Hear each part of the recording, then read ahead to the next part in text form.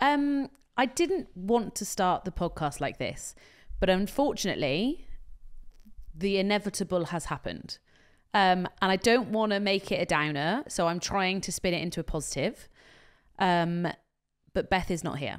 Ladies and gentlemen, please be upstanding and welcome The Unfiltered Bride podcast, tips from the top table and beyond. so you know it's going to be juicy.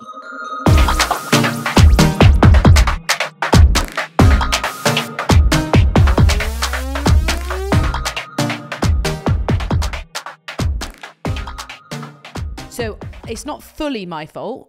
Um, and I do want you to continue listening to the episode, but it's mainly the fault of the people that came to the Cardiff and Manchester tours um, because you killed her. um, she is literally dying of some kind of illness that you guys have given her. And we came together as as a duo and we're like, dude, what is happening? Because we can't miss an episode because I feel like you'd all disown us. So I asked the next best person. And they weren't available, so I got Brian. hey. um, hello, Brian. Hi, Georgie. Um, somebody on the comments didn't know who you were. Would you like to just reintroduce yourself? Um, no, because if you're listening and you don't know who I am, Stop uh, listening. yeah, well, they're obviously not listening, are they? yeah, we do talk about you quite a lot. To be fair, you do come up. Um, and that was just on an Instagram story. Yeah. Well, can we have a little mini reintroduction so that this episode makes sense? If somebody randomly joins on this episode, let's make it make sense, please. Okay. Uh, also, stop doing your like chill voice. You're not calm or sexy, so just be normal. I'm absolutely normal. Um, my name is Brian. I am this podcast uh, producer, editor. I am also your husband. That was the one I wanted to start yeah, I'm also your husband. Um, so I'm assuming we're going to talk about drinks in this episode to some degree. Yeah. Um, so I have an extensive background in drinks. You do? I was a bartender for like probably nearly 10 years, bar management, um, trained a lot of bartenders, worked a lot of different bars, and Make a mean cocktail, Um, don't you? I think so. No. So I'm told. Hype. So we I'm need told. like I'm used to sitting here with Beth who sings at stuff. I Well- need better hype than this, Brian. Okay. Um, well, if you if you're having alcohol at your wedding and you like drinks and you want to impress your guests with drinks, then hopefully I can be of some.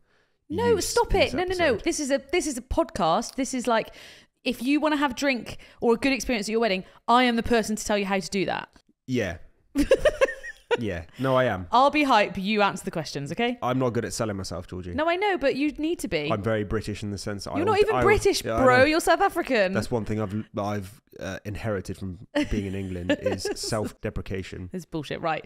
Yeah. I have I've put a thing on the stories. We've got loads of questions that have come in. There's questions about drink Drink- specifically, questions, yeah. There's questions about how you bagged such a banging wife. Um, How did they know I've got a second wife?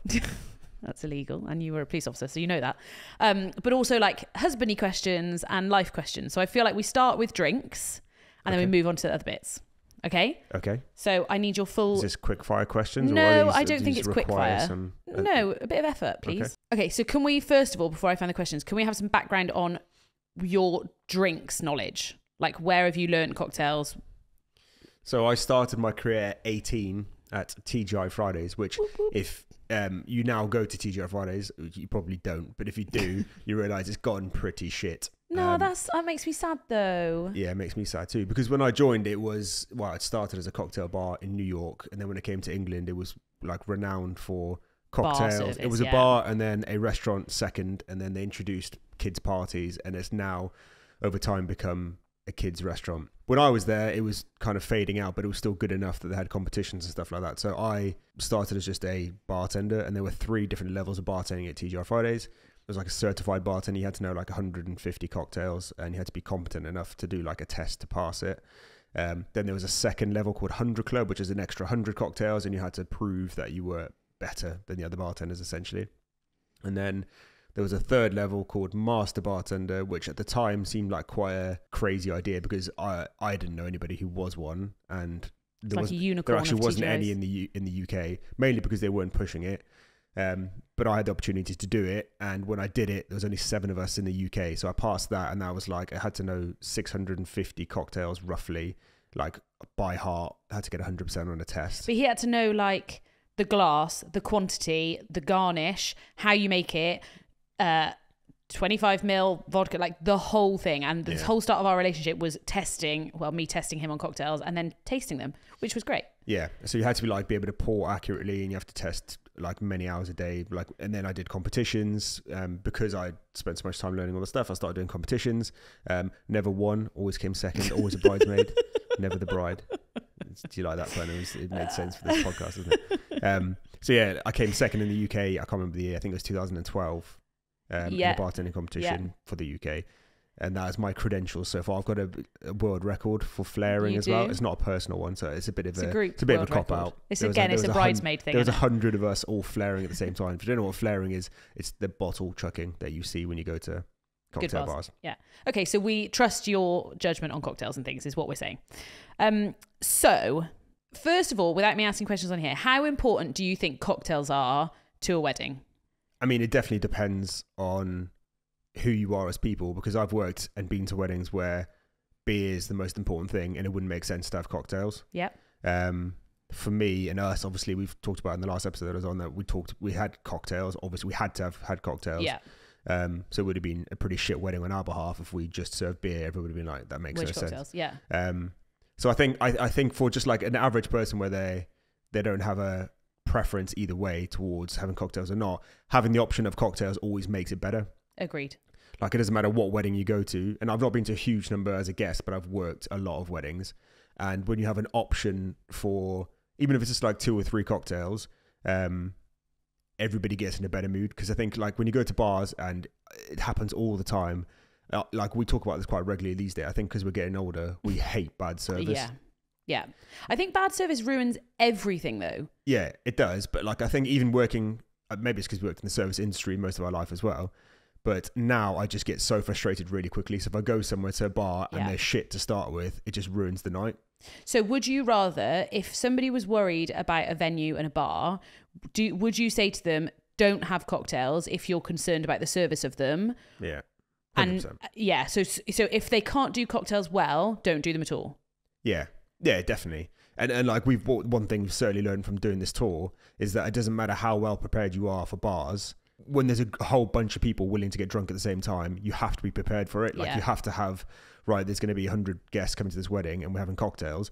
Many bartenders, if you go to like venues, they go, yeah, yeah, that's fine because they've not really thought through the process of of like it. when this is actually going to happen. Yeah. Like, they just they just think, oh, because we've got a couple of bartenders on at that time, we'll be fine. But I, like it breaks my heart every time I go to a wedding and I see it, and you're like, you guys have just done this so half-assed. You've understaffed it, and Yeah. it's put a domino effect of people getting annoyed because they're waiting on the bar. And there's nothing worse. Like if you can if you can get drinks right at a wedding, everything else I think goes well. Like, 'cause it's, I mean, it's, it's not promoting getting drunk here, but like if you when you go to a wedding and you and you are a drinker.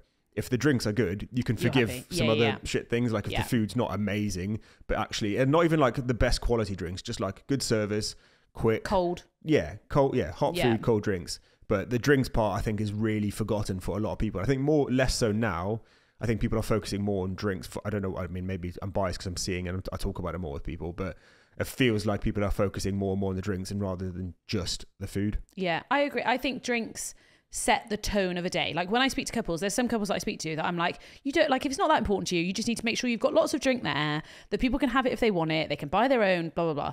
It's then other couples that you speak to that- where they're like, we like hosting, we like doing drinks. Like hmm. those are the people that you've you have to get it right. Like it's so so easy to do it shit, and then it's just there was no point doing it. You should have just had loads of prosecco and not wasted the money and time. I think people tend to skimp on the drinks bit as well. Like even it, I understand if drink isn't important to you, I get it.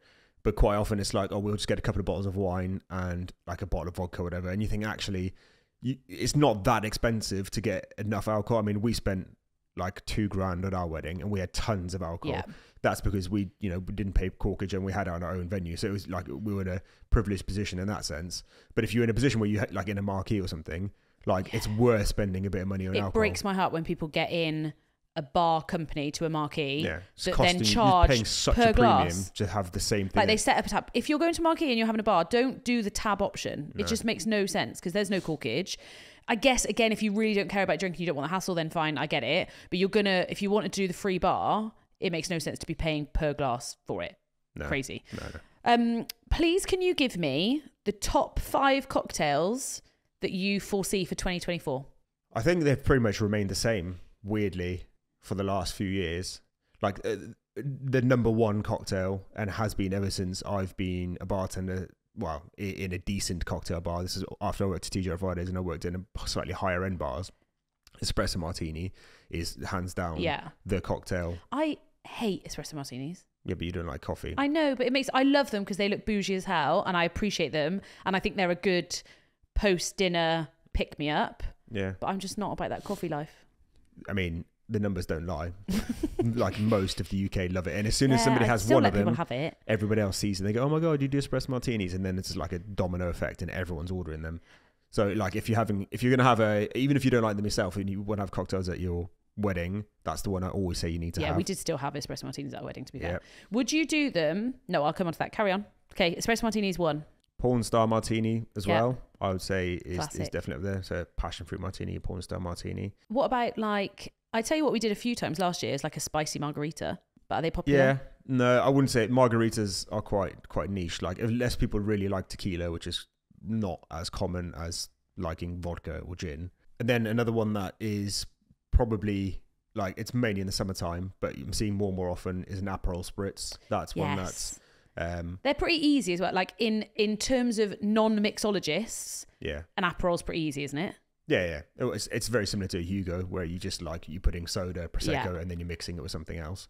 Um, and then probably another classic summery again, but you can have it all year round as a mojito. That's one that, like, again, you either love it or you hate it, but it's it's on every cocktail menu everywhere. Fair. Yeah. Um, and then finally, one that isn't a cocktail technically, but is super common is a gin and tonic. Having having that as an option every wedding you ever work out, people want to Yeah. it tends not to be on the menu, but people always ask for it. So I'd say those are probably the five most common ones and menus that I create for, for brides and grooms. Would that Um, cover all bases of people liking drinks? If you had just say if you just had a small cocktail list, if you had those, does that tick off everybody's pretty much? taste? It has like slightly creamier coffee, and then you have like fruitier. You could put something like a pina colada in that's a bit creamier, but it makes that's quite niche. You're probably not going to sell that many of those unless Yeah. it's like a, you know, a Caribbean-y style wedding in summer. Um, but then again, it, ma- it makes sense if your favorite cocktail, like whenever I talk to people who are getting married and talk about drinks, it's, it's it's it's very similar to what you say with like personalization of weddings. It's the same with drinks. Like if your favorite drink's a pina colada, then let's do something around that. Who cares Yeah. if they all your guests like pina coladas or not? We can create a menu that maybe maybe it's like variations of a pina colada, but you got to make it like you know to do with what you yourself like. I agree. Thanks for promoting that, Brian. Um, where did Pimm's go? Pimm's um, has died, I, hasn't I, it? I wouldn't say it's died. It's died. I don't think I did any Pimm's last year. No? Whereas when I used to work in catering, what was that? Five years ago, that was every time it was Pimm's worked a couple of weddings last year that had Pimm's. I and don't remember many. Pimm's. Yeah, I guess Aperol is the new Pimm's. yeah, but Pimm's is good because you can just whack in a Kilner jar and it, people can help themselves. Yeah, That is fair. that's a really good way of speeding up the drink. Like if you're having arrival drinks, you can have like prosecco and then have you know a couple of Kilner jars filled with Pimm's, and people when you once you've handed them one, they can go and top themselves up. So if you like if if you're having a very British style wedding, I'd recommend Pimm's. Yeah, Pimm's works nicely in the garden. Like when everyone's out at lawn games. Beth, Beth would hate this episode. Yeah, but not even Pimm's it's enough to be that. Like if we've done them indoors, like in marquees, Pimm's work. Re- Yeah. it works really well. Like prosecco and Pimm's. Like you said, it's a good one that can be there. Again, if you're worried about your venue and you don't trust the bar service of that, Pimm's is pretty hard to get wrong. I mean, it's well, you can fuck it up, but it is quite hard to fuck it up. Like it's, it's literally the it's on the back of the Pimm's ball. Isn't like, it 50 ratio one to two to one, one, to isn't it? three normally? is it one two to to one? three. You're lying. Um, best gin cocktail. Best gin cocktail. Yeah. Um, for me would be Bramble. I love a bramble. Yeah. You didn't. It's weird. I think I've grown up. I've made these drinks for you many times, and you've never liked them, and then you had it one time. And no, I had it at some- a wedding. Yeah, Uh, no, uh, uh, an open day or something, and I was like, I've got a new favorite drink. Is it the one with Black- blackcurrant on top? blackberry. Blackberry on top. Yeah. Banging. They are good. I enjoyed that a lot. good. But again, that's a cocktail that you can easily get wrong. So you need to try it before because you can either make it with fresh fruit or not fresh fruit. Sometimes it's really bitty. We're getting into the weeds of of, of, Yeah. of cocktails here, but um, it's a good. It's a, it's a nice gin cocktail. It's very fresh. What's very an summery. easier option of a? What's an easier option gin cocktail? um, like a Singapore Sling, but that's got quite a lot of ingredients. But that's probably one of the most famous gin ones. Or just doing things like um, with soda, so like um, a gin Ricky, which is like gin and soda. Um, That doesn't sound very nice. Yeah, but if you look people who like gin, like that kind yeah, of bitterness. my problem is I, I drink cocktails because I don't want to taste the alcohol. the, eh, the thing you, you need to know your palate. Like, do you like sweets? Most people who like gin quite like bitter, and obviously, like there are sweet gin Yeah. cocktails, but generally things that with gin in are like elderflower or but with soda and prosecco. So it kind of has it's, it's less sweet than other like a pina colada yeah. is sweet. So people who drink that like sweet cocktails. People generally people who like gin tend to go down the more bitter route with Fair. tonic and stuff like that. My favorite thing, it's really hard to say nice things to you when you're sat here, but my favorite thing about you is when you do, a, or even just cocktail bartending at weddings, is when they've got a drinks menu and there's six cocktails that they've picked, but someone comes over to the bar and you'll say to them, do you want this or do you want something else? You tell me what you like. And and this is the difference between bartenders and mixologists is that you have the knowledge to be able to say to make any other drink that has those same ingredients and like mix and match them. Yeah, and that was instilled into me like by the guy who taught me to bartend, and also the ethos of TGI Fridays, which I don't know if it is now, but it was very much like if we have it, we'll make it. Yeah. Um, and, and I always get frustrated at bars, and it's again any place we ever go to, and the service is crap. It's like, can I have this? No, you can't. Like I can see it over there, Yeah, so yeah, why would you not make it for me? Do you me? remember when we went to McDonald's and we I wanted a vegetarian burger and I was like, I don't want vegan cheese. Can I just have yeah, normal yeah. cheese? Yeah, I, oh my I god. flat out had an argument with some bloke. That, well, yeah, you wanted a I wanted the veggie burger, but normal veggie cheese. burger with regular cheese, Yeah. and he fl- he was like, I can't do that because it has to be vegan because we're selling it as a vegan. I was like, okay, can I can I order the vegan cheese separately then, just a slice of cheese? And he, well, I know what you're going to do now. I The was normal like, I cheese, was like, come on, mate, I'm not like It- there's no meat involved here. I think we'll be okay. Yeah. Anyway, but that's the kind of like that's the kind of service you just think you just leave such a sour taste in people's Or mouth. it annoys me when I go to a bar and they clearly don't know how to make any other drinks than what's on the thing. yeah, That's what I don't like. Like, make me something, mix it around a bit, make me something I like. I've told you I like sweet stuff and I like vodka. Make me a drink. Yeah, but then it's it's it, uh, it's time consuming. Most people who are bartenders, and this is general, aren't didn't go down as deep as I did. I wanted to be really good, and I wanted to learn all the extra things, and I wanted to do that. Like if I was just you know, young again and just did it for the money, I would learn what's on the list and Yeah. and, and not move on. So, but like you're right, there there are levels to it. It's not necessarily like a bartender and a mixologist, but like there's a bartender and then there's a bartender. Like there's good ones I and there's shit ones. I agree. How would you say that couples can know the like so people that book a venue and they've got a bar in there? Quite, I would say what I reckon seventy percent of wedding venues have the bar, and that's that's what you get. Yeah. How can people check? What that bar is going to be like, or the service of that bar? Is there something they can look at behind the bar to figure out if they're going to make good drinks? I would 100% um, don't do it in your show around, like when you see the venue, because the chances are they're going to try and impress you. They're likely not to have put somebody on the bar that's going to try and impress you because they're not going to think about that. But I would order like a coffee or something like that, or a soft drink while whilst you're there. Yeah. But when like the person who's showing you around isn't doing it, just to kind of see The a, the attitude of the person Yeah. behind the bar, um, how they serve the drink, are they going to be friendly, those sort of things. Or if you live close to your venue and it's one of these venues that you can like, if it's not just open for weddings, go there and be like completely unannounced, as in like Yeah. on an evening and have a drink and, and, and actually experience it because they'll promise you the world for everything when you go to venues but especially with drink and we've learned this with the tours as well you will be promised the world and it's, Yeah. well, any event we've ever done the people who you're dealing with the salespeople are always going to tell you they can do it Yeah. but then on the day you can't go back like I've worked like at weddings and venues with people who are like organizing stuff, and you get there and you're like, "W- "How have you not planned for this? Like, Yeah. you've not got enough staff, you've not got the right stuff." And then There's you no go, ice. yeah, you go, oh, we'll just deal with it. But like, not really, because there's people paying a load of money to Yeah. be here. So I'll, I'll try and test it in some respects. Order a drink what if you're doing a show around, but not from the person who's showing you around. I would go to the bar without even them even knowing Yeah, yeah, and just experience it in that respect. And you'll get a taste of what it, I mean, you- you could get a bad person there and then a good person on, on your day, but you'll kind of get a feel for what it's going to be like. Is there stuff you can say if so? Sometimes I'm trying to think of venues where there isn't anybody there, and the person makes you Like when I used to do show rounds, there wasn't anyone on the bar. Mm. I'd make their drink. Is there stuff they can? Is like, can you tell by the look of a bar? Like, is it well stocked? Are you supposed to be looking at the amount of drinks are on there? It's hard to tell because you don't know what their setup's going to be like on the day. I, I would just ask and just say, look, how many bartenders are going to be on? Yeah, Like, you know what a good bar looks like and a rubbish bar looks like. So fr- from the front end, if you're having cocktails, make sure it doesn't look like a pub. Like Yeah. if, if it's just like if there's just a pump there and then some like dirty old pint glasses, yeah, that, glasses. that's a bit of a red flag. You can look at that and be like, oh, That's what people could look for. The glasses. So if there's martini glass, like how Yeah. many different cocktail glasses are there? But but I wouldn't solely rely on that because they could always be ordering glasses in Yeah. because they might not stock martini glasses. So like uh, you can get a vibe for it.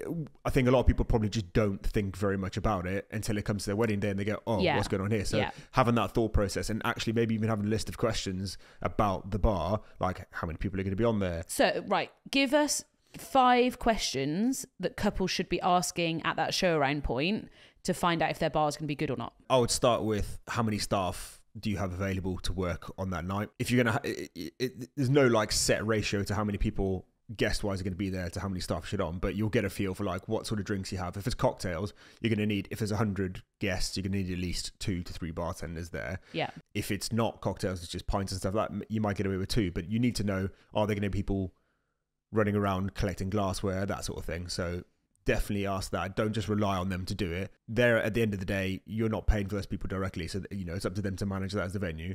But get an idea for it, and if you've got concerns, you can raise it. Yeah.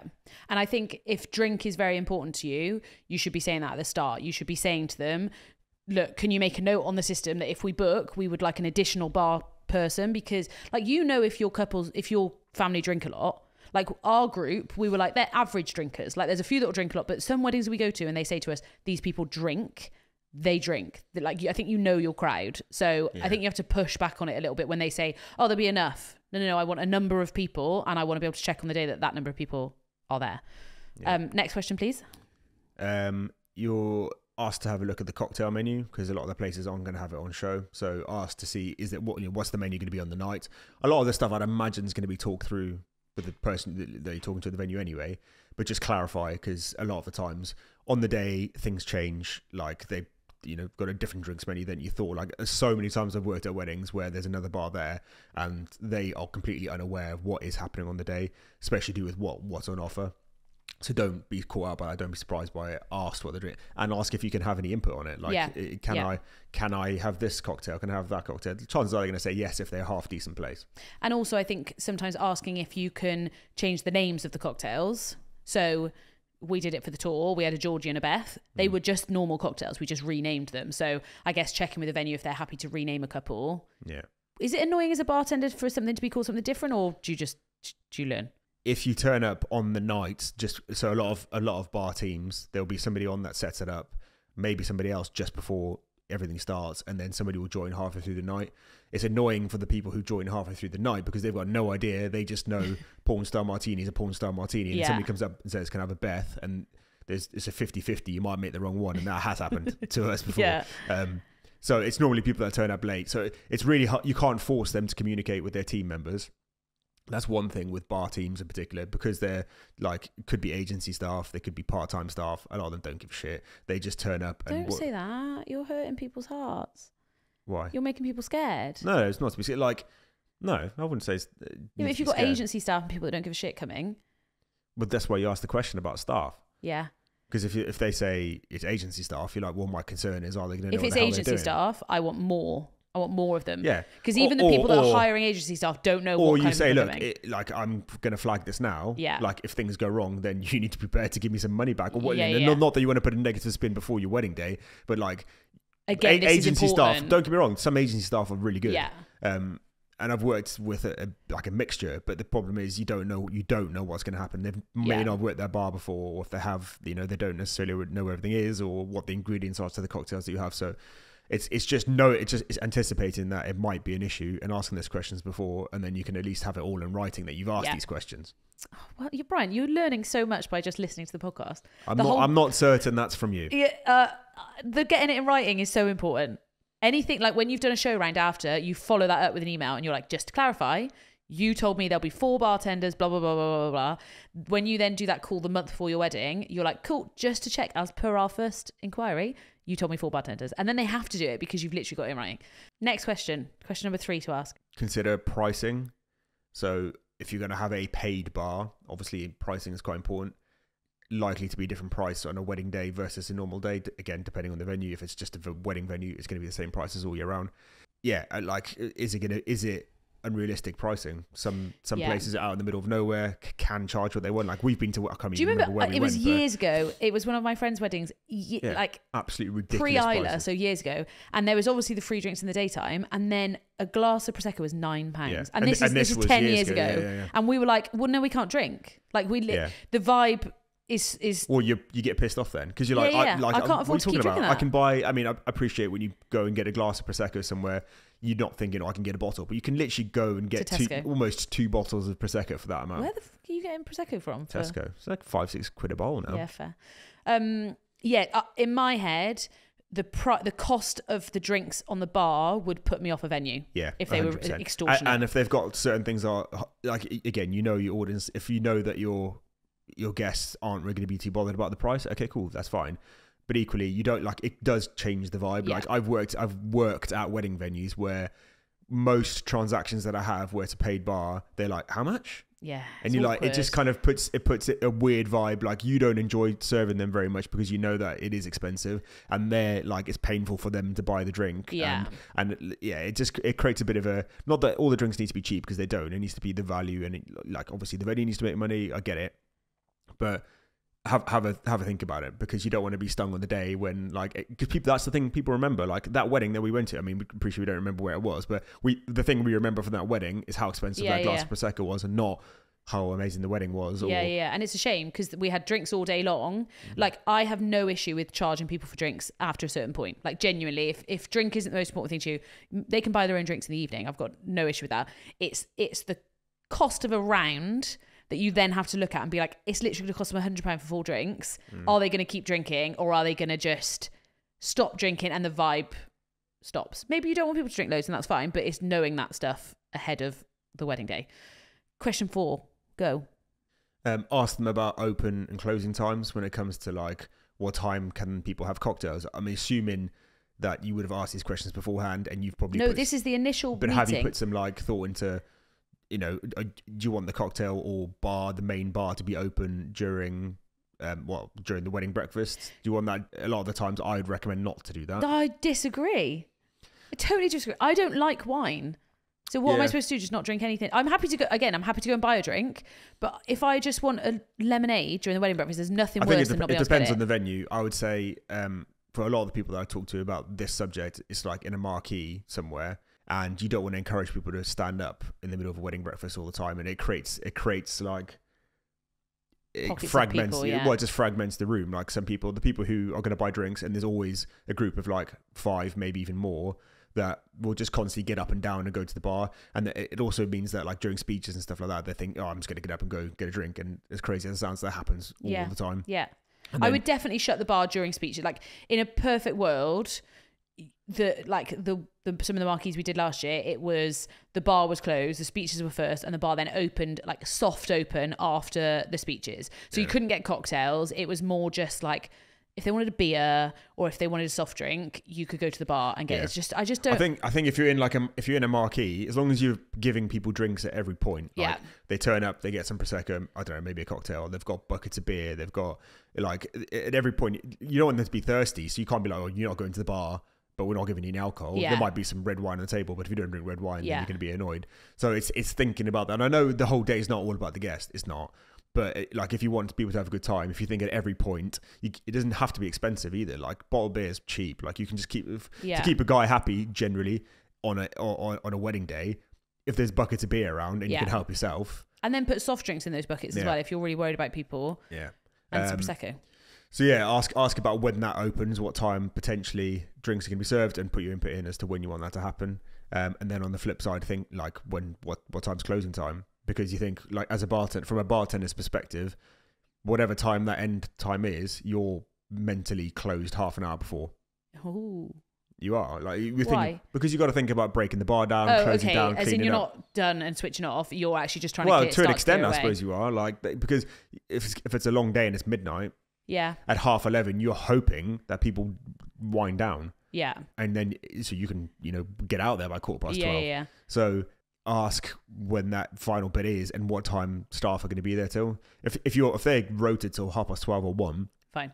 it's irrelevant. Um, so it's kind of just asking what time it is, what time is last orders. You know, I've worked in a lot of marquee weddings where, like they said, if if depending on the vibe, if it's really like amazing and the party atmosphere is there and there's a DJ on or whatever, and they want to go on for half an hour, is that something you're prepared to do? And I've, Yeah. many times I've gone, yeah, it's Yeah, fine. yeah. Like as long as I'm, you know, I don't have to be up at seven o'clock in the morning, I'm happy to do that. Obviously, they, you're going to have to pay for that. Yeah. Um, but it's worth knowing is that an option? Yeah. And when you'd have to let them know that. Like when could you let them know? Can you let them know? Like a marquee is I wouldn't do that. I mean, I worked one last year where I was supposed to finish at one, and at quarter past twelve or half past twelve, the person's this wasn't a wedding, by the way. the person the, per, the the event that I was doing, she the lady who was paying me was like, "Can you stay till 3? And I was like, How much? Well, she was prepared to pay Yeah, money, so she was prepared to pay quite a lot of money, which is fine. Um, but even then, I was like, "I'm I'm, I'm sorry, but no, like I've Did got." you say no? yeah, Why? I stayed. I think I think I stayed on for another half an hour. Um, I stayed. I'd stayed on a bit longer, but it's, it was a long day. Yeah, it was. it a was long a day, to be fair. long, hard shift, and You're they were pussy, nice. mate. But like, but again, if she if she if she said that to me when she booked me, You would have kept I it in would have mind. I would have gone. There's a good chance I'm going to stay here later. Yeah. Um, and even if she, even though she incentivized me with money, I was like, you know, I'd rather go to bed. So like, it- Wow. so if you if if um, if you ask that question early, this is more so like if you're getting in a bar company or a bartender Yeah. to How come flexible in, are they? how flexible are you going to be? And they may they may just say in the beginning, oh yeah, we're really flexible, Yeah, and then on the night they go, no, we're not. Mm. Um, so you, it's all about uh, asking these questions, communicating, and again getting it in writing. Because if they say, yeah, we're, we're prepared to stay later, you know, on on an email, Yeah. then they're going to be Bam. prepared to stay later. Give it to your coordinator, and then your coordinator goes, no, no, no. Yeah, you No, no, said no. you're doing it. Um, I, I would get a feel for how much personalization they're prepared to put towards your drinks. Maybe you don't care. Maybe you don't want anything and you just want it as it comes. But maybe you want things like drinks toppers or Yeah. napkins, but or like your own straw. Like all of these things have happened in the past. Um, are they prepared to do that? Like, or Yeah. do they have a standard that they, you know, so have to stick to? yeah, I guess chain hotels and stuff like that might find it harder. We did have an issue with one of the tours where we wanted to put in like some glitter stuff, Mm. and they were like, "We can't put it in because we don't have the allergy stuff for it." And I was like, uh, "To be fair, like we they'd said yes to like all the other stuff, but we didn't specifically say this. If we'd said beforehand, we could have got the allergy stuff for it. We could have been ready for it. But so it's just, I guess, knowing how far you can not push it, but like how much stuff can you do." Without them being like, we don't do any of that. Yeah. You can't buy all the stuff, take it the day before, and be like, "Here's all our bar props," and they're like, "No." the moral of the story is with the, I mean those are there's more questions than that that you can ask but like if if drink is remotely important to you just go in right from the beginning and tick those off because like I said drinks tend to be an afterthought quite often. Yeah, like uh, the amount of zoom calls I've had with people because they've like a couple of months away from their actual wedding and they've not even thought about drink and maybe you've said something or they've seen something somewhere or they've gone to a shit wedding yeah, with bad bartenders and they've gone, I really don't want this to happen in my wedding. At the Please, please, can you help me? Ah. Please, can you give me like, can you give us some advice to do this?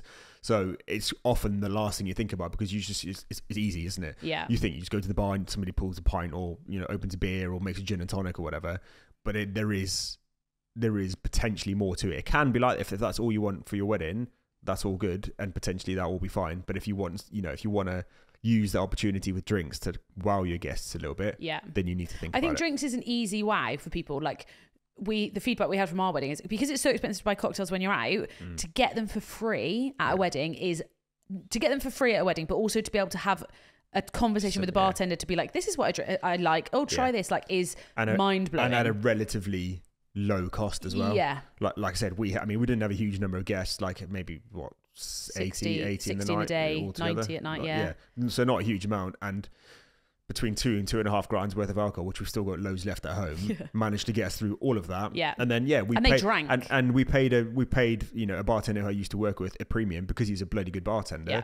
and that, that's where you get that's that's the reason it worked. If we if we bought all that alcohol in and got some average Joe bartender yeah. who's like an agency staff, they wouldn't just been able to. Ha- they literally wouldn't be able to handle no, it. but it, it, it, it wasn't it wasn't just about serving the drinks. And I talk to people about this all the time. It's not just opening a bottle of beer and serving it. Yes, you can do that, and you can pay somebody minimum wage to do that. Yeah. and if that's what you want, cool, Fine. crack on. But you're not. Nobody's going to leave that wedding going. Best you know drink, what? The yeah. drinks are really good. That bartender knew his stuff, and like it's not even because they love cocktails or whatever, but because they, they weren't expecting it. They've gone to weddings before, and it's been generally either neutral or a negative experience. Yeah. and actually you can go from a wedding with with a bit of thought behind it and a little bit of budget. Again, doesn't have to be a huge amount to get a decent bartender if if you know your venue allows or if you're in a marquee or whatever, and actually people can leave with a really positive experience. I Agree. Um, I like it when you talk about drinks. Makes me remember why I fell in love with you. because I can make cocktails. no, but you just, I appreciate your level of service. And the problem is, you're now telling hundreds of thousands of people that. So Brian does still work weddings, bar weddings, but he Not a huge number. just a bartender. That's literally Yeah, yeah. comes as a bartender, tells you what to bring, tells you what quantities to do. You can book consultation calls, like those sort of things. There you go. Sold you a little bit there, Brian.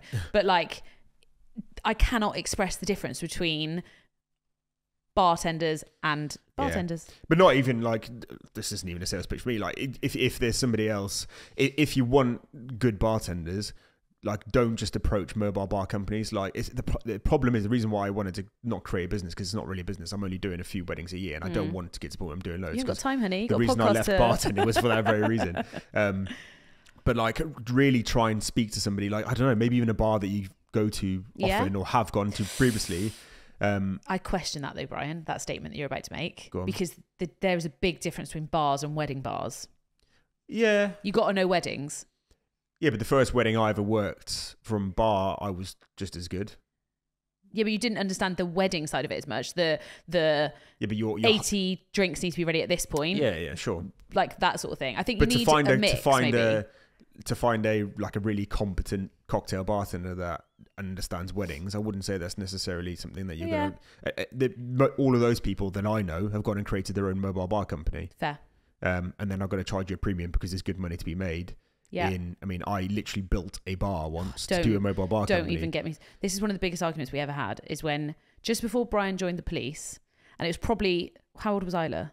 Like we hated. This was the year we hated each other. He was like, "Ah, "I'm gonna gonna make a bar company," and I was like, "Right, okay." I was like, "I thought you were joining the police." I might make a bar company. Right, okay. Should we wait until you find out about the police? No, no, no. Gonna buy, build a bar. Paid how much for a bar? About two grand. I Two thousand pounds. We didn't have any money, by the way. This is, we were we were buying our new house, living with my dad, hating everything, buying a bar. Right, Would you do whatever you want. Buys the bar. Where's the bar, Brian? It's it's currently gathering dust in our garage. And how many times did you use that bar, Brian? Not even once. And why is that? because I joined the police. Yeah. yeah. Fucking idiot, mate. Yeah. Anyway. okay. Thanks for that. But the, the point, the moral of the story is like, that's what I, I potentially would have gone down that Yeah. avenue because there's good money to be made because you can charge an absolute premium and people will pay it because But you mean a premium on the drinks. You don't mean you don't mean as, as in bartenders well, charge there's, a there's premium. two options. You either I'll turn up with my bar and staff it and you as a minimum spend of a couple grand, Yeah. um, And they make the drinks. or I turn up for free or you know maybe a couple of hundred pounds or whatever and it's a paid bar. Yeah. In which case I'll make even more money. So Yeah, yeah, yeah. Um, so from from a, like if you're getting married, understand that you are paying a premium to have somebody turn up with a bar. Yeah, but then the but the other one is if they want to bring all their own drinks, you pay a. I would still suggest to pay a premium for the bartenders Yeah, that but- makes such but- a difference. yeah, sure, but you're going to pay. So like if if if you're in a marquee or whatever, it will hundred percent be cheaper to get somebody like me. Not doesn't have to be me, but somebody like me to pay just pay me hourly, Yeah, yeah, yeah. and then I will tell you what to buy. yeah. and then you, you- and then you, even if you hired your own mobile bar for like 100 200 quid or whatever for the day Yeah. It's still less. you It's pr- more you- you- you effort, don't get me wrong. no yeah it is but you you could you could pro- I, would, I would say you could probably halve your cost really Yeah.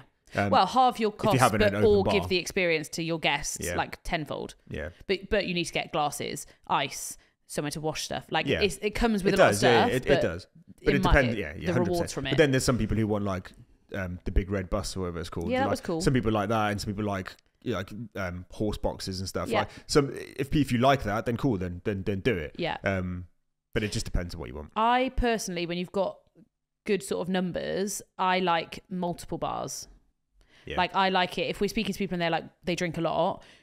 I will say to my couples like just have a bottle beer bar.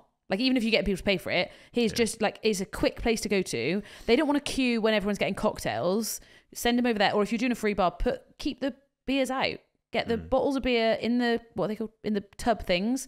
the bar team will keep icing it, and then people can just help themselves tie a bottle opener to it, and they can just Yeah. crack The only on thing with that. that is you need you need the staff to do it because you they'll run out quickly. yeah, you need So, staff. Th- that is, that is the hundred percent the benefit of having something like a horse box turn up, a bar that kind of perks like like like um, parks outside the front of the venue, Mm. and there's potentially a bar inside doing basic stuff, and then if they want cocktails, they can go outside. Like But they'd have to work together, surely. They have to be the same company. not necessarily. I wouldn't turn up as a outside bar team.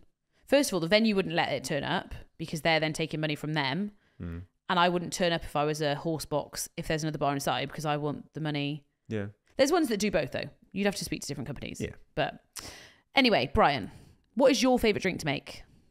Uh, an old fashioned Why? What is it? because it requires a bit of skill. It's a really simple drink, so it's bourbon, uh, Angostura bitters, and sugar syrup. Is this the manly drink? Being sexist. Um, yeah, it, well, it's, it's bourbon. It's, it just tastes like pure whiskey, really. But it requires you got to stir it for a certain period of time, and then the garnish is an orange. You got to if you you you can do a really shit one, and you can do a really good one, and the, the the balance between those two. Like if you if you want to test to see if somebody is an experienced cocktail bartender, ask them to make a an old fashioned and watch them. So maybe if you go into your venue, Mm. you get them to make you an old fashioned Yeah, and you watch. yeah. What are we watching for? Um, well, you can always, confidence is probably the biggest thing. Like bartending, like when I used to teach bartenders, like the, the most important thing is having that confidence. Like I've the number of times I've worked behind a bar and somebody's come up and ordered a drink that I have no clue how to make, it, but they wouldn't. What? You know, you know every drink. I literally tell people you know every drink. Yeah, yeah. y- Well, yeah, but this Have you like, faked it to me? no, no. So like, I fake stuff too. so if you if you've been to Tenerife on your all inclusive holiday and they had some cocktail on their menu. That like there's thousands, Oh, there's right, thousands yeah. of cocktails. Yeah. Like you can't you can't know every single one. There's going to be like some randomly named one. yeah. Um, and you can just go yeah yeah, and then if you have the ability to them not know that you've just looked that recipe up and make it. Yeah. Like I've genuinely I've done that loads of times, and they had no idea, and they went away thinking, oh, that bartender really knows his stuff, which Yeah. which I did. I knew enough to uh, like I had a rough idea of what was in it. But if you can pull it up on your phone, or if, or if like you know, guard the back into the fridge quickly and have a look, yeah.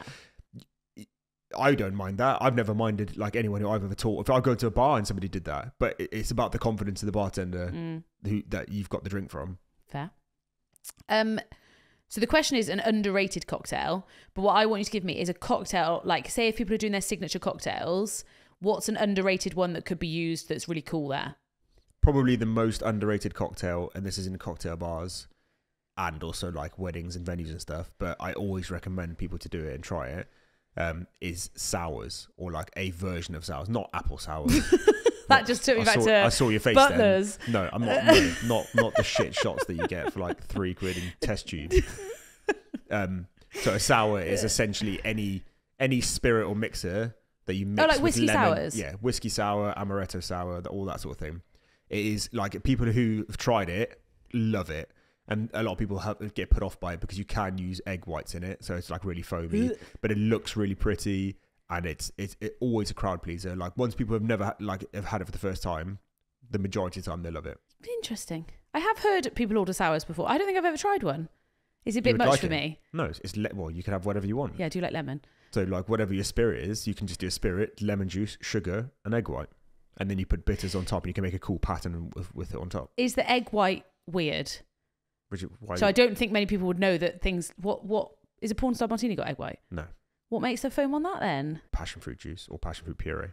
So what one would we have all tried that's got egg white in? Unless you've had sours, probably you haven't.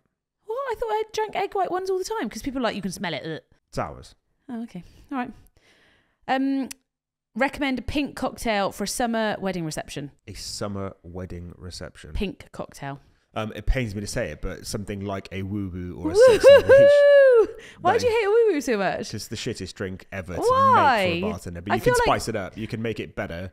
Um, so like, uh, so woo is vodka, peach schnapps, so archers, um, and, It's, cra- and it's like and it's cranberry your juice. 15 year old girl drink. Yeah, but you can use those same ingredients and normally you just put it together rather than shaking it. But if you shake it, it p- again puts a bit of foam on top. The foam makes any drink look better, it makes it look more professional. So you could you could do that, or you could put a bit of orange juice in it, which makes it a sex on the beach. So on top, so it's like pink and then a bit Yeah. of orange on top.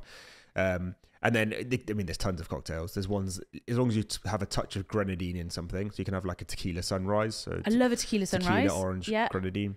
Um, but there's literally like hundreds of drinks you can choose from that have like a dash of grenadine and it'll make it pink. Thank you. Someone said, "What's the name of your bar company?" Um, just a bartender. It's not really a company. It's an Instagram Don't worry. page. Don't so worry. go go and follow. If you DM me on there. DM me. When hiring a bar company, what are any immediate red flags to look out for? I think you'll get a vibe. For me, and the ones I've spoken to Dal before, is you can tell if they're trying to like money grab. Like I appreciate they're all in there. They're all in it f- to make a profit, as every business is. Um, but like look at terms and conditions and stuff like that. And when they talk to you, you'll get a real sense of like, or our minimum spend is this, and eh, all the questions they come back to you with, all their stipulations are all about um, Money. the spend. Yeah. And that's one thing that I've noticed with a lot of bar companies. And for me, that's a red flag because in a service based company, you should be focusing on the service clearly. So it should all it should be about the service, and it should be, yeah, I'm going to charge you appropriately for that, but it should be in a contract or whatever. This is the cost. This is what you need to minimum spend. But quite often, the focus is almost outwardly about how much money they need to spend. So for me, that's a big red flag. Okay. Um, free bar. How can we encourage the guests not to take the piss? So what we talked about earlier about a bit like staggering when things are available. Yeah. So quite often, like if people say to me that like they've got people who are heavy drinkers, it's generally like rugby lot that are like gonna smash shots and cocktails early on, and they're concerned that by like 8 p.m., 7 p.m. people are going to be thrown up. Yeah. Um, so quite often people say I don't want cocktails to be available until 8 p.m. and that's when the party starts. In which case, like by 10 o'clock, maybe the people are going to be really drunk, which is cool. Um, or people don't want shots at all because Yeah. I don't know about you, but the only time I ever get really drunk is when I have shots. Yeah, but they're fun though. Uh, yeah, Yeah, but it could be that shots don't start until 10. Because, yeah, again, you remember like me and Beth talk about it a lot where we're like, blame the suppliers. Oh, the bar. You would happily, if a bride and groom had said to you, we don't want shots until 10, Mm. you've got no issue saying to the people coming to the bar, sorry, we, we're not allowed to do shots until 10. yeah. Oh, why not? Because we're not doing shots till 10. It doesn't look like it's the couple. Yeah, yeah, yeah, no, definitely. But like, but you know your guests more than anybody else. Like, if there are going to be people taking the piss, then Yeah. then yeah, you can stagger it. in my head, the perfect day with drinks is ceremony, cocktails, drinks reception, like something easy like the Hugos, like Aperol Spritz, that sort of vibe. Then sit down and there's like beer buckets and wine and prosecco and soft drinks like around, and then finish the food and there's a cocktail hour. His and hers cocktails, hers and hers cocktails, his and his cocktails, dogs cocktails, whatever you want to do like signature two for that hour. Bar is open, like you can get other stuff if you want to, but that's that bit, and then cocktails then Yeah, throughout the evening. That's like to me that's the pretty much perfect the, wedding. like that is that's probably the template that most people use. But to go back to, works. to go back to the question you had a minute ago about not getting too drunk, you can also be strategic about what cocktails you offer or what drinks you offer in the beginning. So like if you're choosing beers, choose a beer that's not a high percentage alcohol by volume. Give me a beer. Give me a perfect beer like, for drinks Well, it's not per- there isn't a perfect one, but if you're concerned about that, like you have a Coors Light which is four percent rather Yeah. than a Peroni which is five point one percent. okay. So like you can you can go, well, this is the beer that we have available, Yeah. and you're kind of purposely doing it because you know people aren't going to get as drunk. Or Pimm's, which is not very alcoholic, that's a great one to be like rather than you know porn star martinis or margaritas in the beginning. yes. People people are likely to get pissed, and lightweight Yes. people who no, tend to just drink at events are going to get drunk real quick. So you can be strategic about. Fair. Hi, Brian. so Hello. many bar related questions. Do you think a free bar is important? Uh, I, I do, I do, yeah. But then, like, I'm not going to judge somebody who doesn't have an open bar because maybe they haven't got the budget for it. Yeah. Um, because at the end of the day, it is it is like it's their day and it's about them. Um, I think But I I'm think- rubbing off on him. but it, no, but as in like if if it does annoy me if you, you put a load of money into other things and then you Hot, like shit drinks. yeah like clearly with a, like you could have just spent a grand less there. And, and this And is like this is like hour. weddings that are, like spend a lot of money. Yeah, yeah. Um, obviously, it's not my place to judge them for that, but I kind of think you, this would have been better placed by people not having to like have a pain point of getting your card out and think and paying because Yeah. pay you got to remember paid bars slow everything down for bartenders Yeah, yeah, yeah. like massively Surely the you can the amount of people you can serve in an hour is double on a free bar. at least yeah because the the there's no especially, working depending out- on where you are as well like the Wi-Fi doesn't work properly, so so the payment takes a couple of times to go through, and at the busiest times it kind of jams up. Like honestly, Wi-Fi is the biggest bane ever. Like, because if you're doing it in a marquee Yeah. in a field somewhere, or you're at a venue that's a bit out of the way, And people That- don't have cash anymore. no, and you have to go. You have to take. You have to. It, you're basically making. You're doing two transactions every time you, with somebody. You make the drink. You go and put it into a till or where Yeah. however you're doing it, and then you've got to do the mental math. Then you've got to come over, and then you've got to take the money. Go back to the till, and then so like this. It, it, you think about the timings. If you got if you're having a lot of people there, appreciate the free bar is going to cost a lot of money, but it, think about the time it's going to Yeah. take for these drinks to be made. I agree. I to me, and again, even just stuff we've learned from the tour, if you can't afford to do all of the free drinks, so can you? So now Beth's not here and she can't fight back her thing. I don't like putting money behind the bar because to me, the first two hours is great, and then suddenly at 9, 12 p.m. You suddenly have to start paying for drinks, and you're like, "What?" Like it was free, mm. and there's no fairness to it. In, and again, we know where I'm at with drink tokens, but to me, what we did at the tour is that there were the free drinks like you would get at a wedding, and then rather than doing a tab and stuff like that, we had prosecco that we took round. We had shots that we took round. Like, does that work better than having money behind the bar? Um, I'm not for or against it to be honest. Stop, Like- stop it! Stop! Give me answers, Brian. This is unfiltered gr- groom and bride. I don't. I don't have that strong of an opinion. Like it would be annoying if you're the person that gets pushed over the edge of the tab and then you Yeah. have to pay. Um, but there's like the one thing I would say about it is there's always one dickhead yeah. that takes the piss with the with the bar tab, yeah. and they are like they, maybe they don't even know there is a limit, or if they do, they're going to be like, well, I might as well make the most of this and get a bottle of something, Yeah, or, yeah, yeah. or order doubles constantly. Like if you're assuming everyone's going to be like, oh, I'm just going to not take the piss, you're wrong. There's always going to There's be always one, one. And it's normally like Uncle Dave. the, the partner of your cousin or something Yeah, like that. So yeah. like, so who doesn't really Someone give so a shit far about you? Yeah, yeah. Um, so that's definitely something to think about, but it's not going to be fairly distributed. So the idea of going around with prosecco or shots or whatever, at least you have control, or the bar has control of like if you're carrying around a tray of three bottles worth of prosecco, you can dot it around the room at I the just same feel time. like it's more fun. Yeah, I feel like it was so interactive, like going around with shots yeah. and involving people all having the prosecco pong Yeah, or no, beer I pong. do agree. I think I think ra- rather than doing the tab, just put five hundred quid elsewhere into the drinks, I like by doing that. Cocktail hour, yeah, hundred percent. Um, what is it like when you work together at an event? Right, don't lie here either. what do you mean? What's it like when we work together at an event? We work well together. We so- work amazingly together. Yeah. Well, we're both we're both hard workers, so like we just crack on with it. Like it's just working in hospitality. You just you're you're prepared to just be on your feet all day and work Yeah. hard. So like, yeah, yeah. We're a, we're a bit of a dream team at a wedding. I'm not gonna lie. Only because Yeah. I don't have to worry. Like that's one element I don't need to worry about, and I can just say to you, get that bar ready. We need this at this point, and I don't have to then come back and think about you. But equally, I can then make everything happen this end of it. It's just it's wonderful when you have got good supplies. It's wonderful. Yeah. Um, what is the easiest cocktail to make? the easiest cocktail to yeah. make. Yeah. So going back to the kind of not sure about what the venue are like. What's one that is very difficult? So we did kind of did Pimm's and Hugo's. What's a you can fuck up a Hugo. Yes, someone messaged us a bitch from a bride about messing up a Hugo. It's difficult to though. Not really, because it's ratios. Um, if uh, I, I would just, if I, in all honesty, if you if you're at a venue that you're worried about the drinks, either try and get a bartender in. I can see why they wouldn't want you to do that, but Tell people what you're doing soon. well, I'm doing that because What are you doing, Brian?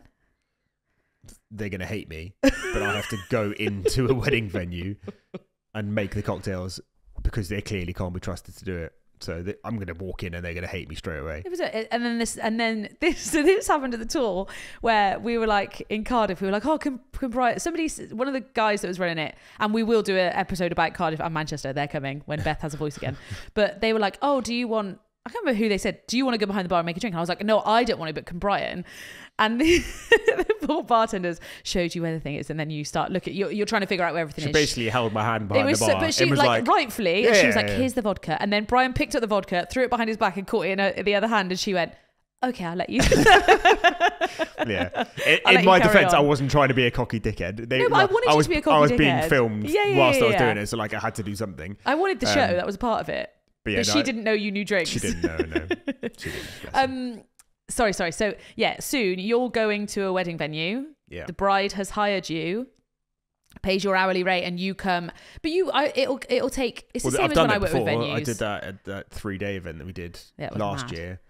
It's And- funnier and, when they there's always us. there's always a little bit of friction, and, and I would have like if I worked at a venue and it, it basically says we don't trust you, and, and, and it, it couldn't be more blatant than saying I've got somebody else in. But on my wedding day, I am not Yeah. risking whether you care if I trust you or not. I don't care. Yeah, so I would sell it as in like we want a particular thing, and we know that this person can deliver it. So th- like They're here we- to we- help. We're not trying to say that you can't do it, but Yeah. we really want. It's important for us to have this one element. So this is why we've done this. I love that. I Um, literally love that. It's going to be brilliant. yeah, because I mean for the guests, I think it will be. it will be brilliant. And t- honestly, the the staff there will appreciate you after ten minutes because you- it's quick and you know it's a different skill. It's a different skill set. Um, batch cocktail recipes. We are doing these with beer, wine, etc. for the bar that opens at seven pm that night. What could they batch make? A cocktail Yeah. batch. Um, I mean, pretty much anything. Espresso martini is really easy to batch. You Well, in a, you could do you could do five kilners of espresso martini and they'd be all right. yeah, you just need to mix it. I mean, you- would want to shake it before, so you can pour it all into a into a like a, a shaker and just shake it with some ice, and then it's ready to go. Whoa, whoa, whoa, whoa, whoa. Prior to putting them in the kilner, or you batch it into the kilner and then pour it the in, kilner, shake it, and Give pour it a it. stir before, and then you put it into the So you still need shaker. a bartender. Yeah, Okay. There's loads of things that you can do like a Pimm's, where it's it's, it's ready to go from from a kilner jar. But they're, they're never going to be the nice cocktails. Like you can't do it with the porn star martini because it requires it to be shaken so that it's got a bit of texture in it. So there's loads of things like things like woo woos, things that just re- are just like basically spirit and mixer cocktails. Yeah. You can do that with anything. How do you feel about cocktails in a can? Um, I wouldn't personally ever order one. If there was, so I did a wedding. I talked about it before on here actually, where they had those big fridges, Mm. and there was no bar team, and I was like, guys, you're stressing me out, blah blah. blah. And they were like, uh, the most chilled people ever, and they were like, just it will work with our guests. And I was like, I fully trust you. And they had loads of cans of everything, cocktails, beer, like everything, and it worked really well. However, it's a it. It's just a different drink. A porn star in a can is different to a porn star martini in a glass, in my opinion. It just depends which Well, yeah, size obviously you it's never going to be as good. Like it, it, it just won't be as good. They were quite yummy. But if um if if the whole if drink isn't super important and canned cocktails are you know part of your story, then yeah, cool, crack on with it. It's never going to be as good. But if you're on a budget, it's a, it's a Great it's compromise. a yeah, it's a compromise. Yeah. What can you do on the table instead of wine? We both hate wine. Prosecco. Um, like shots of some degree. Like you could have for Spirit your wedding, mixer. you could have a bottle of tequila rose on there, and people can go you know throughout and could do that. Is that Um, risky? Will they be Well, it's not. It's, it's not. It's not a very strong drink, so it'd be fine. Yeah. Um, it, it again it has to make sense to you. Wine is just it, it's the most common thing to have with your meal, which is why traditionally it's it's there. I can't imagine nobody at your wedding is going to like wine. We only put red wine on our tables though, and we had white wine available at the bar. Yeah, because it was winter. All right. If it was in summer, we would have had rosé or white, and then red behind the bar. Fair. Um, so to answer the question, I wouldn't. There isn't really like a. I'm trying to think I of think weddings I've done before. prosecco can work because everyone seems to like prosecco. You could put the spirit and some mixers, but it's not going to look nice on the Mm. table, is it? Or you just don't put stuff. The only problem is if you don't put stuff on the tables, you'll get people going to the bar. Yeah, the only other thing I can think of that w- would might make sense is having a bucket or like a bathtub nearby, not on the actual table, but like close. So like if you've got ten tables, you have three or four, Yeah. and within that maybe there's a one bottle of white wine because you know, Yeah. just in case they want it. But then it's got bottled beers and soft drinks and stuff like that because you want it. You want to mix, and it, doesn't clutter the table, and also it's within easy reach. So What's the somebody can just girl equivalent of beer? Uh, I would say wine or gin and tonic. Okay, just checking. How do you manage a help yourself bar? How to stop people going crazy? You can't. I, I I don't like help yourself bars. The only help yourself bar I've ever seen that worked was those fridges because Yeah. there was no glassware. You just you drank it out of the can, and they were like surfer cool Yeah. guys. Like Yeah, it, it was really good, but you can't have a help yourself bar with But I have massive OCD about making sure it's clean on the bar top and stuff like that. So like, if I was at that wedding, it would, fr- it, because not everybody's going to be considerate Yeah. of where they leave stuff and how much they pour. they're going to turn up to it and they'll be like, what, what happens if one row empties in the fridge? Like, so like, again, if it makes sense to you, then do it. But I'm, I don't, I don't like them. Okay, you're getting bolder as we go through this, Brian. I'm enjoying it. Um, so you kind of touched on this, but I want to just go back to it. A way to do espresso martinis easy. We have to provide our own bar. Should we do canned? But you're saying Kilners is a better option than canned, but you can't pour straight from Kilner. So, So what? There's nobody there to make the drink. well, currently, would you say have some people there? Yeah, just pay even if it's one person to, to be there and they can batch it. So like I always tell people with espresso martinis, you can just literally just use like Kenco coffee, make a load of it, refrigerate it, um, and then you could, if you wanted to, you could mix in the alcohol and Mm. sugar into that, and then it's literally just give it a little swirl in a bottle and pour it straight into the into the glass. But again, not having it manned, what happens when it runs out? Like, who- Yeah, who's know. dealing with that? Like when there's a Kilner jar there, it's got maybe 20 cocktails in it. When that runs out, everyone's going to go, now what? Yeah. It It's a- and then it becomes a domino effect of, Yeah. okay, well then the bride or groom or somebody in the in the bridal party is going to have to be like, well, I'm going to have to do it now. Like, You should have just paid somebody Yeah. Yeah. minimum wage at least. It's one of those hindsight things that a bar will ruin the Yeah, mood, yeah. and you'll be like, I wish I, I literally just wish And, I and it doesn't that. get better because once, uh, and even when there is a staffed bar, if things start going wrong, it doesn't get better. It just gets continuously wrong. So unless you're like, if it's so busy you run out of stuff within half an hour, and they're obviously the kind of people who are going to continue drinking, if you're not prepared for that with stock and people, it's not getting better because in an hour's time, it's going to be Yeah. people are going to get more pissed off. Okay, I want more quick fire questions from you. This is gonna. We, we're supposed to talk about several things here, and you've just talked about cocktails. Okay. already asked you about cocktails. What is the perfect way to create champagne Bellinis as a welcome drink for our guests? Perfect way to create it. Yeah. Well, you just put peach puree. But what do they bubbles. do? Put all the peach puree. Do you make it in a kilner? Do you put the peach puree in No, first? no, no. after who? No, you line up all the glasses and then put the puree at the bottom and then top it up two minutes before people walk up. Thank you. And it's important, it's not a long time before. Pet hate when they start making drinks half an hour before people walk. It takes, I'd rather, if you're pouring all the welcome drinks, I'd rather you, people will stood there for two seconds Yeah. whilst you filled up a glass and it's completely fresh than give them flat Bellinis. Ugh. Um, our venue are charging seventy pound corkage for spirits. Is that a lot? To bring as much spirits as you want. Well, no, I guess per spirit. Yeah, it's fucking loads. Why would you do that? Don't do that. corkage is so difficult because if you want what you want, it costs so much money. It's so difficult. They're like in a club in London or something. That's that's in- That's, extortionate. I reckon that's pretty normal for things. I mean, no, I would not do that. Any advice on a DIY bar in a teepee? Yeah, get a mobile bar, either a company or staff? Or you get a bar. The TP company might have a bar. If not, you can hire a bar, You mean a physical bar? a physical bar, Yeah.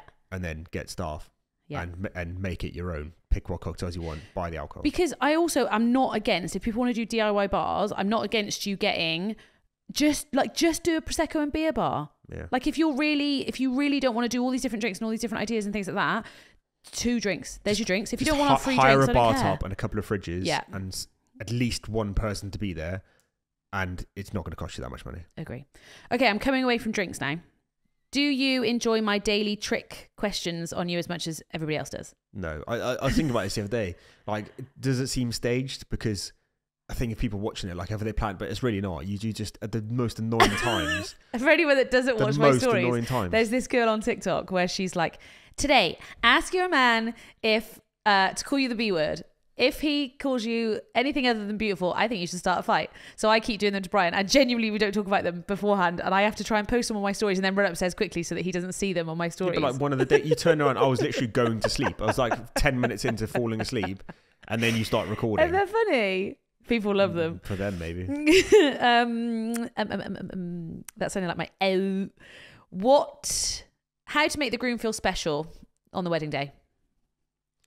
I talked to somebody about this actually at the tour. Somebody asked me this question. It might be the same person. Um, find find what's important to them. Like for me, it was having cigar and whiskey because I Yeah. th- but I did I don't even know where that idea came from but I I. I wanted no that was not you take credit for fucking everything it's unreal um I wanted to like have something that was separate for um everybody that went to my stag do Yeah. and it was like 20 minutes where we all had our own time and that made me feel like I had like an input on the day I mean I had inputs on other elements of the day as well but that was kind of like a bit for me so like whatever whatever your you know your partner or your groom thing. whatever their thing is. They might not have anything, in which case, just I don't know, maybe try and involve them in stuff. Yeah. Um, but yeah, ask them outright: Is there something that you think is important to you? And then try and like weave it into the day. Thank you. Did it feel funny when people were recognizing you and knew your name at the tour? so Brian acts like he doesn't doesn't like it. He's like, nah, nah, I hate. it. I, was I do hate it. fuck off. And then when it comes to the thing, he's like, I'll go stand by the front door. I'll welcome people. Oh, will you, Brian? Where's Brian? you- oh, he's at the front door welcoming that as me everyone. wanting- no, no, no, no. Um, oh my I, god, it's Brian! I, I, I couldn't, I couldn't be famous. I like, I like to just crack on. Says the guy that's trying to get 100,000 followers on TikTok. Well, I've been, I've been recognised. Not you got recognised at the tour. No, no, but not even through that. Like, What? well, yeah, the guy behind the bar. Yeah, he was like, when Brian finished doing the bar stuff, he's like, aren't you frugal spender? And Brian was like, yeah, I do drinks as well. and I, ha- I hate it because, like, I don't. I You honestly, don't I- hate it. That's no, I not I, true. I don't know how famous people deal with it because, like, imagine. And obviously, this is not a level that I'm likely to ever be at. But like, if you're walking to like go shopping Yeah, yeah, yeah. and you got in your con, is somebody here going to recognize who I am? I can think of nothing worse. Okay. Did Brian enjoy the honeymoon? Yes. Put a longer pause on that. Well, it was a yes or no question. Yeah, so say yes quicker. Open questions. That was a closed question. Did Brian enjoy the honeymoon? Yes. Thank you. what was your favourite part of the honeymoon? Um. Not the karaoke. Oh, oh, I wanted you to do it. Like you know me well enough to know karaoke's my yeah, worst but I, nightmare. my job is to push you in our like. I'm the pusher. You're there's a, the there's a puller limit. backer. Me going on stage when I can't sing, singing in front of people is not. Oh, you'll not- never see them again. Why does it matter? until the next morning for breakfast. It's, we're stuck on a Do it on the last day. yes, I enjoyed it. I our honeymoon very much. What Thank bit you. what did you like apart from karaoke? Dolphins is pretty cool. Okay. I thought turtles were better. You didn't enjoy the turtles as much though because you couldn't breathe through the snorkel. Swallowing seawater. Um, any top tips for saving for a wedding and staying in budget?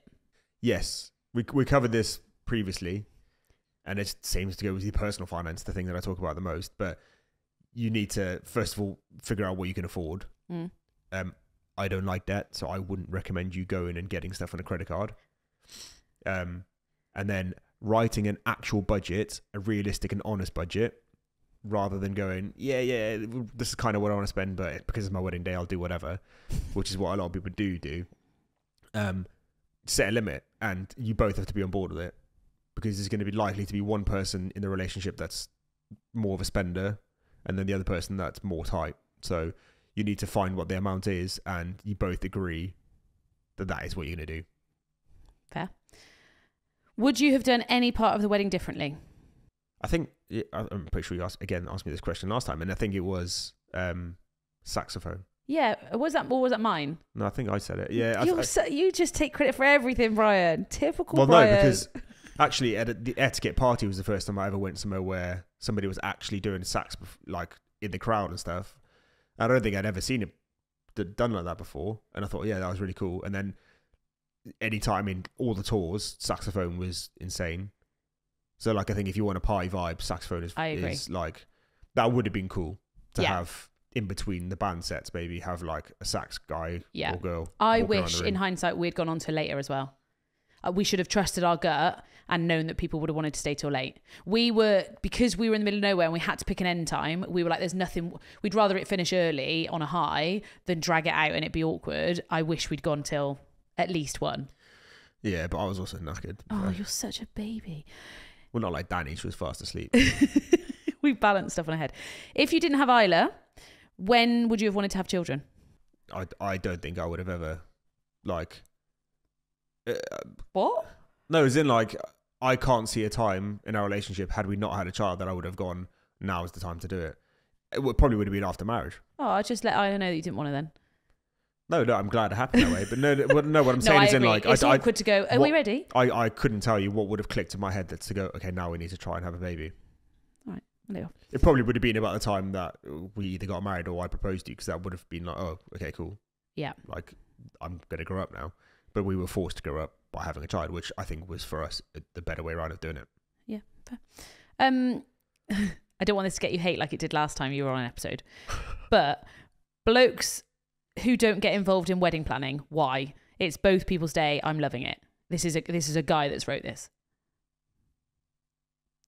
I just, like, Is stereotypically, some people, like, guys It's just. marketed to women. Like it's our fault as much as it is. I just, uh, you just need to accept that there are, like, some inherent genetic differences between men and women. And one of them is, for whatever reason, marriage and planning marriage and thinking about marriage, women tend to do it more than men. You're gonna get some hate on that episode. You do you, bro.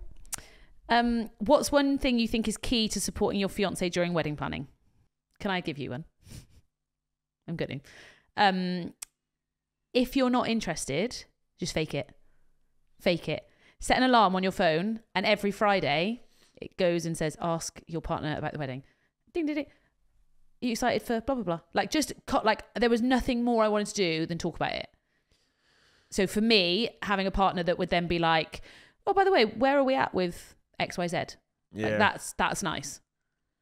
You There's- don't seem interested. Yeah, but there's there's just so many factors to it. Like if you're busy at work and stuff like that, and we left a lot of our planning to the last minute. No, we didn't. Don't tell people that. That's not true.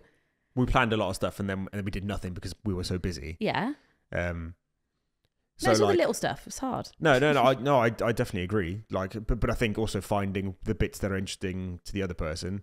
Like you were interested in a lot of things at the wedding that it was not even that I wasn't interested in. I just wasn't didn't have that much of an opinion about. So like when you talk to me about, it, I'm like, yeah, genuinely like whatever you want to do, that's cool. Let's Yeah. do that. Whereas when you talk to me about cocktails and stuff like that, I was like, okay, cool, this is the thing. So find what input they want to have. It goes back to like the question before about how do you like make them feel special on the day, finding out what the thing is that Yeah. they are passionate about, and then you can I don't even say to them, can you plan that, or can you, or, or can we plan that together, whatever, Yeah. you know, whatever. you see, you can No, see- I'm you, joking. You, you're making this assumption that guys can't plan stuff. No, no, no. I'm not making an assumption that guys can't plan stuff. I'm making an assumption that you can't plan stuff. No, you just control freak. Um. Okay, there are so many questions on here for you that it it almost makes me want you to come on another episode, but I Just don't do know. Just do it on stories. We could do some on stories, but also, People want to crack on with their day. but TBC if Beth is even better for the next episode. Like I'm worried. yeah, I mean, I'll- Otherwise, you will have to come back and we will have to ask more questions. this be awkward. I do want to end on a bitch from a bride. Um, and you, I don't know how much you're going to be able to answer it, but I just want you to be here to listen to me. Okay? okay. Bitches from a bride. Hi, ladies. First of all, just want to say thank you for the podcast. Started listening in December from the beginning and have now smashed my way all through them all. Very upset I have to wait weekly for the new ones. I've got so many help, tips, and extras from you. Love it. So, my Bitches from a bride. Our wedding is no children. There will be just three kids. One of them is our son, and then two cousins coming from overseas um, who are there for a two week holiday. Everyone's been really good with this. Even someone that had an ill baby that they said could come has now sorted out and getting a sitter, blah, blah, blah, blah, blah. However, the best man is being very demanding with this and not understanding it at all. He has three children and is expecting all of them to come. My partner, this is where you come in. My partner is not chasing him about this and is basically chicken out, saying that the bride has decided that there's no kids for the wedding. It was a joint decision, um, and that she's putting their foot down. This is now affecting the wedding planning as we have three months to go and we have no idea if the kids are coming or not.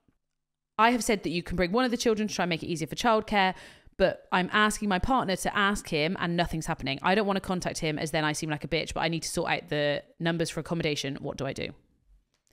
What's the problem? Why can't Because you, you, you don't want to make it awkward. I get boys can't talk to each other like that? Yeah, it's it, And why'd you blame us?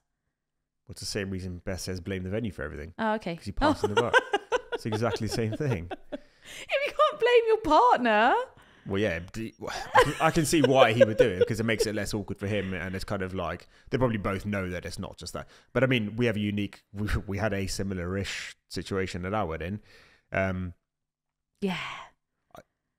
it is it is difficult, but I would I would just to save you the stress of the day, and we had stresses on the day from potentially not being more honest with people. Yeah. Um, just be honest and just say, look, we actually just don't want kids there. So like, yeah.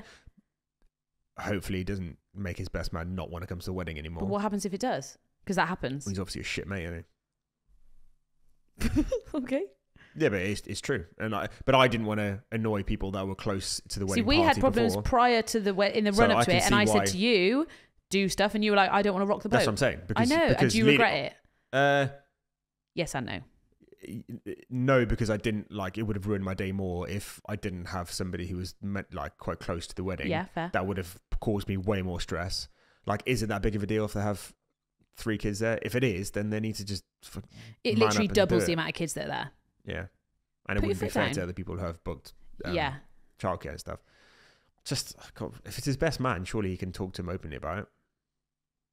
She definitely shouldn't get involved because she'll she will be the Well, I just don't think it's She'll fair that typically the girl has to get involved, and then it is us that are bridezilla and blah blah blah blah. When actually, when you go home and shut the doors, the guy is like, "Oh, I really don't want any kids there," wait, wait," and I'm like, "Ugh, "You not you, but." yeah no, but that's what I mean. Like she shouldn't do it because then then he needs to step up and what's your message to to grooms out there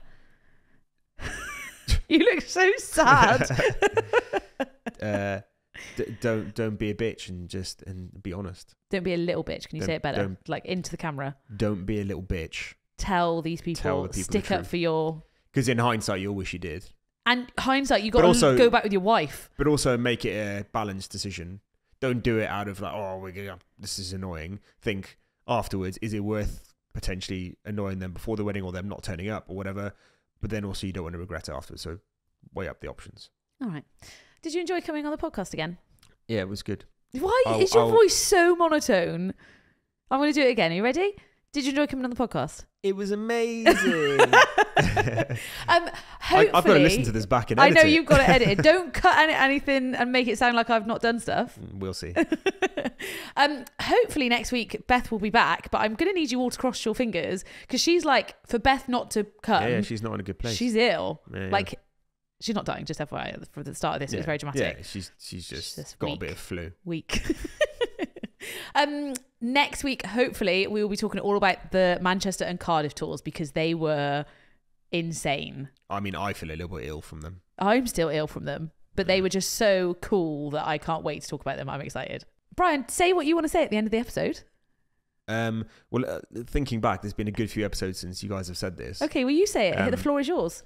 We are very close to a thousand reviews on Spotify now. Oh, that was terrible. Um, I think as of today, it was like just over 900. So if you do listen on Spotify, please leave a five star review.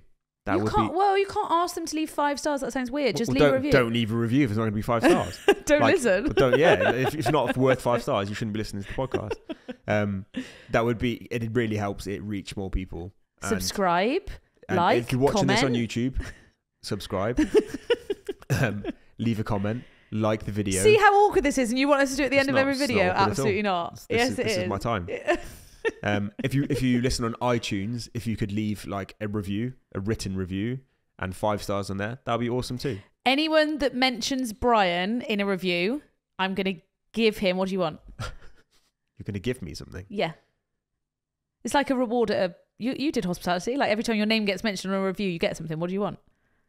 Um, some cake, slice of cake. You cake. don't like cake. uh, Like a chicken, chicken breast. Uh, half chicken. Half Jerk- chicken. Half jerk chicken cooked by you. You don't want me to cook it. Yeah, that's true. I will buy you for every time Brian's name is mentioned in a review. I will buy you a half chicken. so as they rack up, we'll end up with like five whole chickens in the fridge. Well, no, you got to like cook it in. No, I don't want to do that. I just Oh, okay. Um, Um, anyway, that, Thank you so much for listening. Like, share, review, all of that jazz. Thank you so much for dealing with Brian on this episode. Thank you to me for speaking with him, even though we now have to go home together and carry on speaking. Um, but Beth, I hope you appreciate this. Love you guys. Bye. Love you, bye.